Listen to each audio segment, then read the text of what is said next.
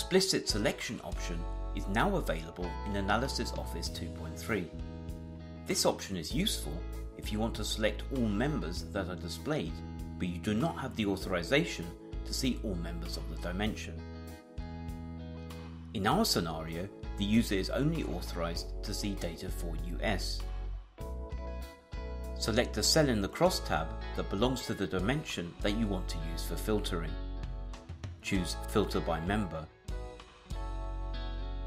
If the explicit selection option is not active and you choose Select All, then no crosstab will be rendered as you do not have the authorization to see all members. This looks different if the explicit selection option is active.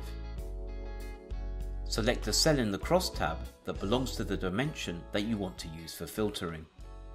Choose Filter by Member. Activate the explicit selection option. Now, if the explicit selection option is active and you choose Select All, the individual members you're authorized to see will be selected and displayed in a crosstab. You can save an explicit selection with a workbook. Please remember that if your assigned authorizations change and you are authorized to see additional members, then these additional members will not be selected automatically when you reopen the workbook.